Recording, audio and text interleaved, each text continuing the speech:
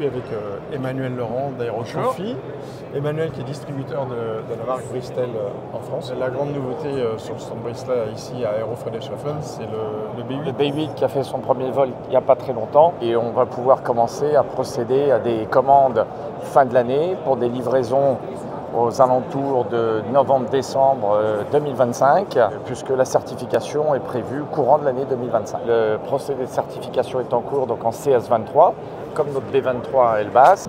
Quel type de motorisation il a? Deux moteurs, le 912 IS, le 915 ou le 907. Par contre, le 912 de base n'y sera pas. J'ai cru comprendre que l'aile avait été volontairement positionnée de manière très haute. Ça, c'est le prototype numéro 2, celui qui va servir pour la certification. Il va être prêt cet été. On a une vingtaine de centimètres de plus pour le passage de l'aile et avoir une visibilité exceptionnelle. Et le fuselage sera un mètre plus long.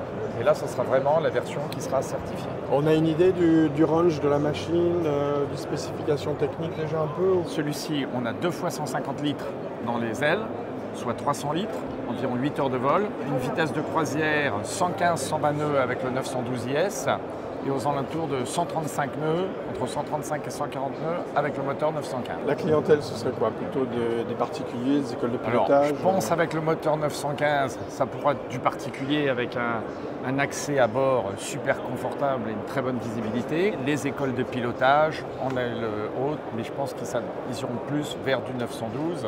Comme pour le B23, ils partiront aussi dans la continuité en faisant la version IFR. À suivre, puisqu'on l'a pour le B23. Version ULM peut-être?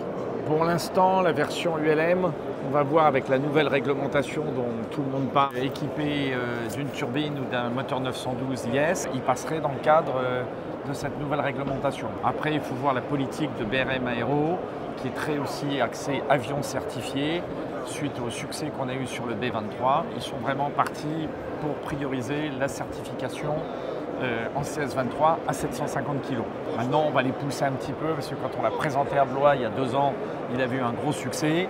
Donc avec cette nouvelle réglementation, on va un petit peu revenir à la charge. Il y a à peu près combien de clubs maintenant qui utilisent le B23 euh, en école? On doit être à peu près une quinzaine d'aéroclubs. On a une idée du nombre d'heures de vol qui sont à complet, complet, on totalise 17 000 heures de vol de clubs qui arrivent au changement des 2000 heures du moteur.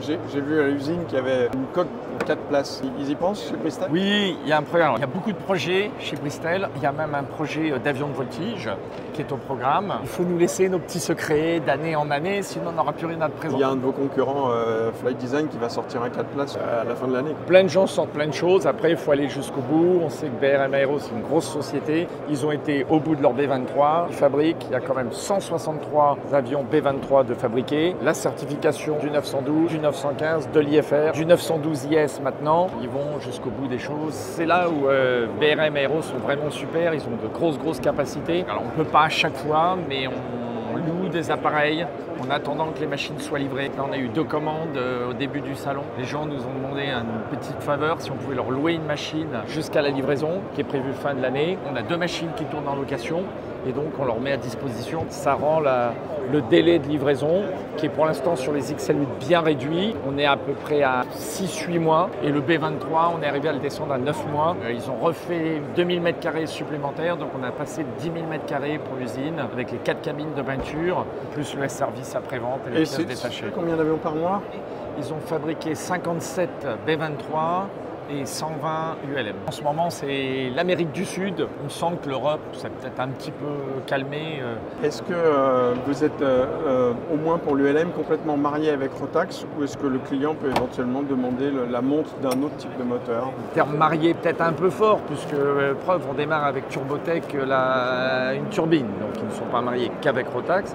Et je pense que la turbine va avoir un gros, un gros succès sur Nutrix et lui. Et l'objectif, c'est que d'ici la fin du mois d'août, on ait terminé notre programme de nos 200 premières heures de vol. Justement, cet XL8 euh, euh, turbine, euh, turbine il, a, il, a, il l'esprit des gens? Oui, il plaît, c'est nouveau.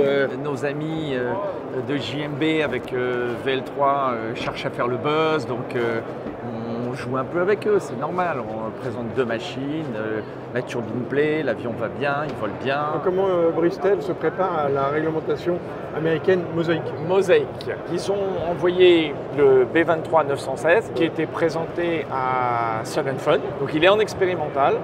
Et on espère mosaïque sur on va dire, le premier semestre 2025. Et donc ils passeront automatiquement en mosaïque, ainsi que le B8 et puis derrière ça peut suivre euh, le B23 ou le B8 turbine, parce que cette réglementation elle est, super pour le, marché américain. Bristol est prêt et Bristol a déjà envoyé des avions aux États-Unis. En espérant que l'Europe s'inspire de, mosaïque euh, pour, nous, ah, pas de commentaire. on a déjà eu la tâche. le 600 kg, on va se contenter de ce qu'on a.